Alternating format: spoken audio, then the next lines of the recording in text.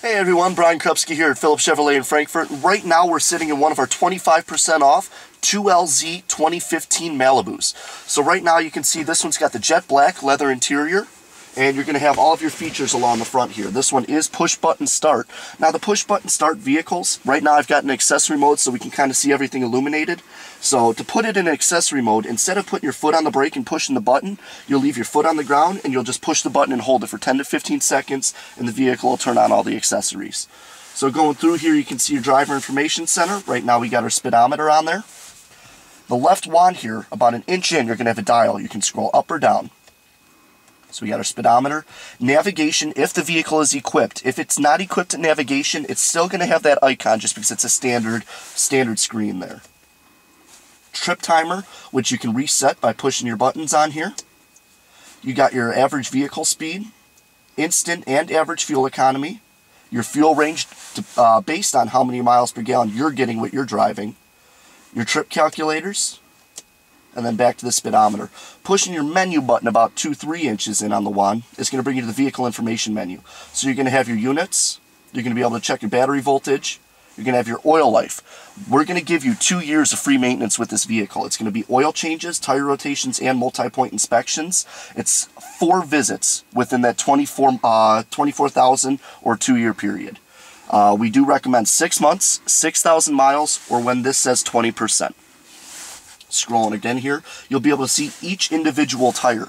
So you'll be able to tell if the vehicle's pulling the left, pulling the right. Click over to the screen, see if it shows that you're down at 15 instead of 28, 30, where you're supposed to be at. And then back to your units. So we'll push the menu button, we'll just bring it back to the trip and fuel information and leave it at the speedometer there. All of your headlights are going to be on the left side of the dash over here. It's a dial. So you can see toggling it over to the left, it's going to say auto control off auto control back on if I click it back. Your fog lamps are going to be pushing the button in to turn them on. You can see it illuminates up on the dash here. So we'll turn those back off. When your lights are on, you have a little dial you can hold up or down.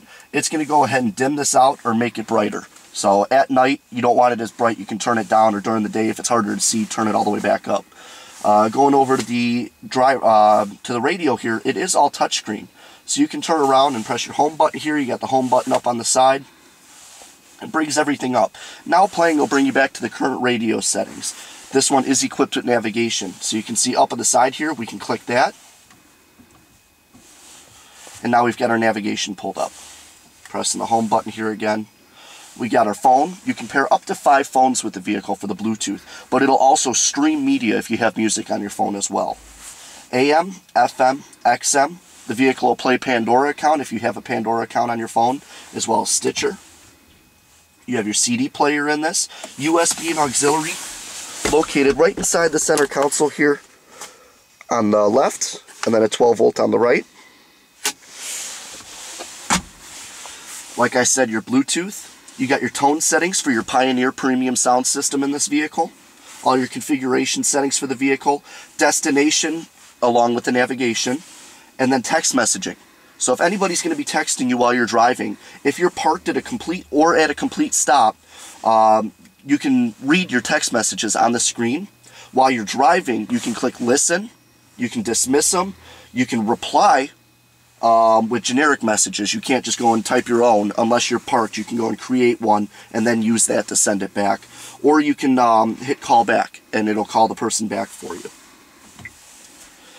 weather, movies, and fuel pricing, it all comes with our XM service. So you're going to get that free for three months unless stated otherwise with the vehicles.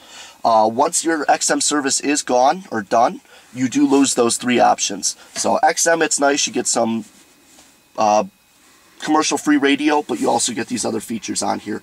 And then with the pictures, you're able to put pictures up on the screen through the USB uh, import um, inside the center console back to next, and now playing brings us right back to the radio. And you can see all on the bottom here, we have the stations that we like to listen to. You got the corresponding buttons at the bottom to push and save them.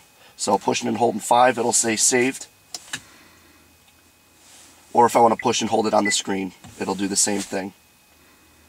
Again, I'm Bryan Krupske. I'm one of the sales and leasing consultants over here at Phillips Chevrolet in Frankfort. Stop on by.